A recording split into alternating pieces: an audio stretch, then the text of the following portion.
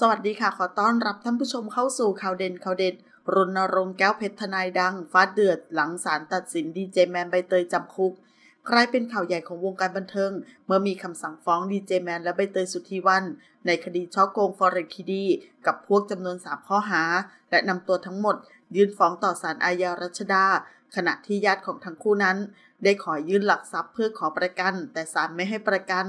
ต่อมาทางด้านของทนายรณรงค์แก้วเพชรทนายความชื่อดัง ได้ออกมาเคลื่อนไหวทันที หลังศาลตัดสินดีเจแมนใบเตยจำคุกฟอเร็กทีดี โดยโพสต์แรกได้เผยว่า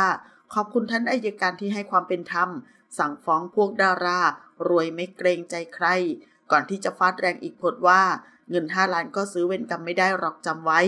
อย่าเอาครอบครัวตัวเองมาอ้างหาความสงสาร เหยื่อคนอื่นครอบครัวของเขาพังพินาศเพราะ Forex ทีดี พวกเขายังไม่มีโอกาสพูดเลย และโพสต์สุดท้ายสูญสิ้นอิสรภาพ